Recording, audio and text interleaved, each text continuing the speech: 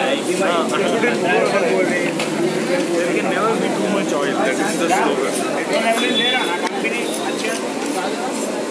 slogan.